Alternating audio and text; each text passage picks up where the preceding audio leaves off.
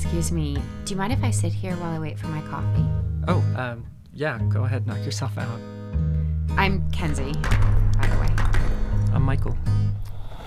Who are you coming in so close, so close? You might scare me away.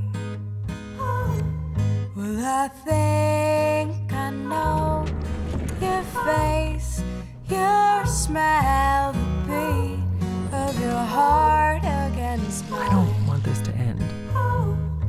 Me neither.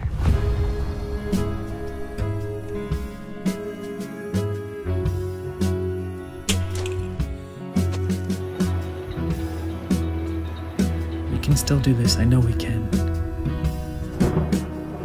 We just have to make it all fit together. Right? Is it supposed to be this difficult?